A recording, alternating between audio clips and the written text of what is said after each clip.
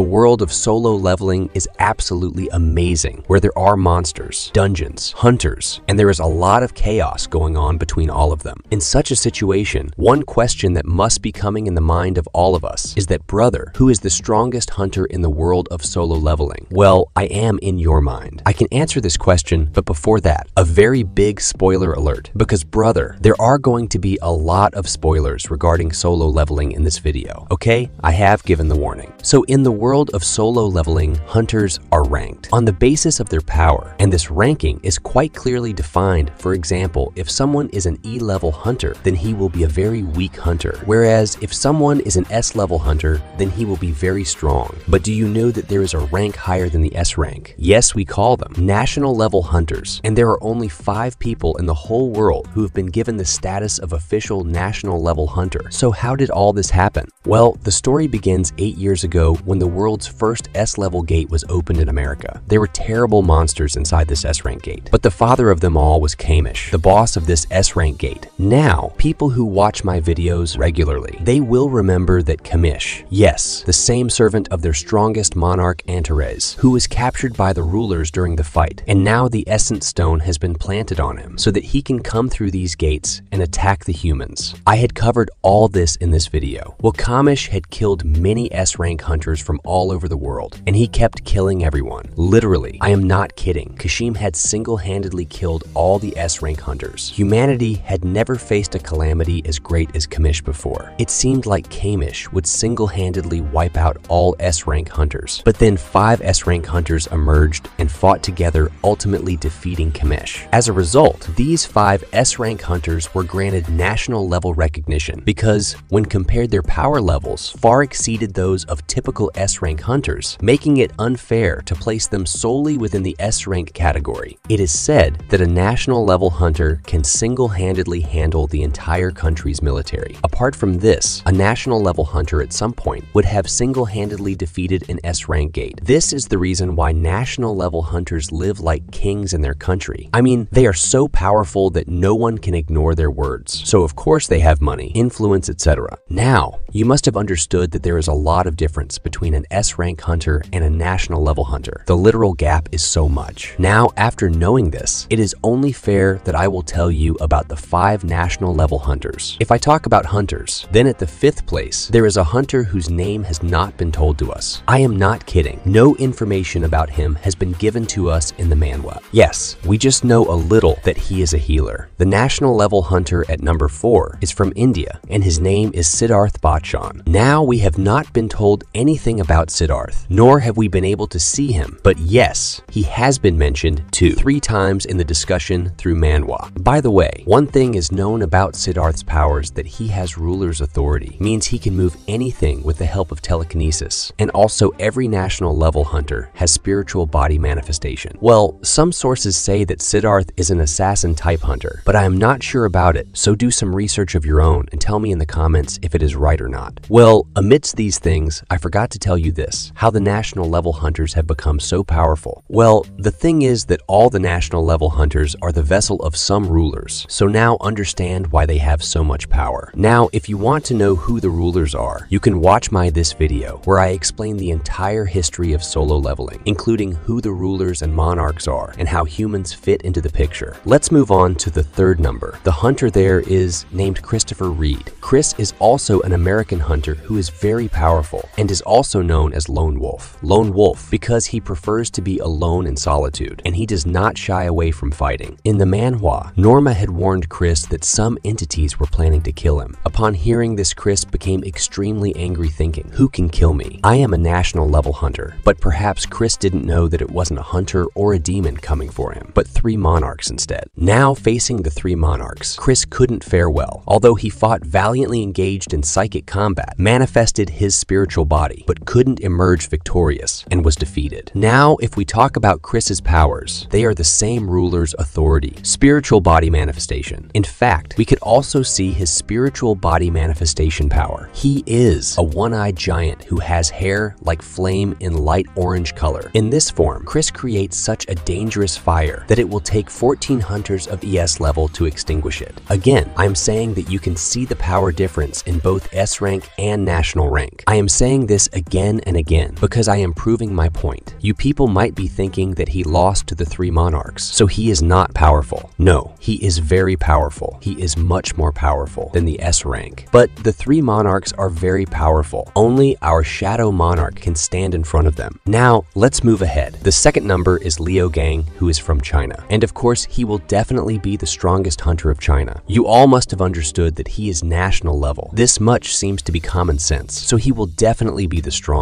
Now in Manhwa, Liu's screen time is fine. And from this, we come to know that Liu is a bit rude. He shows respect to powerful people, and we understood this only when Liu openly admitted to the media that Jinwoo is more powerful than him. If we talk about powers, Leo has amazing speed, strength, durable. Apart from spiritual body manifestation and ruler's authority, we were also able to see him using Energy Blast, where he swings his sword, which emits an energy blast and anyone caught in its range is dead. He is so strong that he had killed a lot of ants, the same ants who were running away towards China after the Jeju Island raid. Overall, Brother Lee is quite OP. He has a lot of strength. Now sitting at the very top, we have our own Thomas Andre. Andre is America's top hunter and arguably the strongest hunter. Thomas was born in a poor European family where he had to fight with others to survive, and thus his fighting instincts and abilities were very high. Literally, Thomas developed he became strong, like a tank. He is very wide in appearance, and brother, no one could stand in front of him in the fight. When the process of reawakening started on the earth, then Thomas also became his hunter, and only a few in time, he reached the very top. It is said that during the fight with Kamish, Thomas grabbed his sharpest fang. After Kamish's death, his fangs were given to Thomas as souvenirs, and Thomas made blades out of those fangs. Yes, you can also call them daggers, because the fangs were not long enough to make a sword out of them. Now, at a point in Manhwa, Thomas and Jinwoo had a fight with each other. In this fight, my Jinwoo beat Thomas like a dog. I mean, he beat Thomas so badly that I felt like Thomas is dead. But Jinwoo left Thomas alone, and with time Thomas healed. And now Jinwoo and Thomas have become buddies. By this, you can guess how strong Jinwoo is going to be. He had defeated the strongest national level hunter with bare hand. Now, if we talk about powers, Thomas has speed, strength, durability, spiritual body manifestation, ruler's authority. He has all these things. And also he has reinforcement where he takes his body as a golden armor, looks like a kind of ruler. In this form, his horns come and brother. His attack and defense are next level. Well, Jinwoo goes to the next level with his bare hand. When Thomas was being punched continuously in this form, Jinwoo's hand was also injured, so you can understand that Jinwoo is injured. It means that the guy has power. Apart from this, Thomas also uses capture where he telekinetically pulls anyone towards himself. When he uses capture in the reinforced form, it becomes a situation like a black hole, where he pulls everything inside himself. In fact, Jinwoo would also get pulled inside it if Jinwoo didn't have his strong ruler's authority, and then Thomas also has collapse, which is like Hulk smash, meaning he will break the ground with his punch, and anyone caught in his blast radius. He will get hurt very hard.